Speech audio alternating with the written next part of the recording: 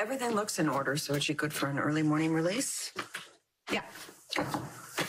You got time? Uh, for you, always. Good, because we have a lot to talk about. Okay. What is it? Your friend Harmony and the company she keeps.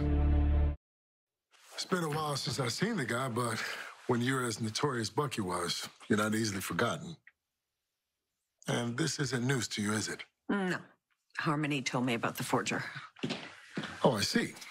So she made you an accessory after the fact. I advised her not to do it. But at the end of the day, Harmony did what she was going to do, and she did it for her daughter. So, is there anything you wouldn't do for TJ? Okay, see, now you're just playing dirty. Is there? Ask yourself this, Alexis. Are you sure Harmony was thinking about Willow? Or was she just thinking about herself? Sorry. You don't want me to miss a deadline, do you? Always a master at deflection. Hey, the website called me. And even if she hadn't, you would have found some other way to avoid explaining why you're covering for your friend. You and I both know this is not about Harmony. No? The last time we spoke, you said you were flying out to the West Coast for some amazing job opportunity. Oh, good memory. Thank you.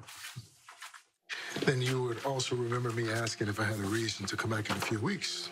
Move the offices here. The reason being me. And you've been avoiding me ever since. I have not been avoiding you, Sean. Okay, maybe I've been avoiding you.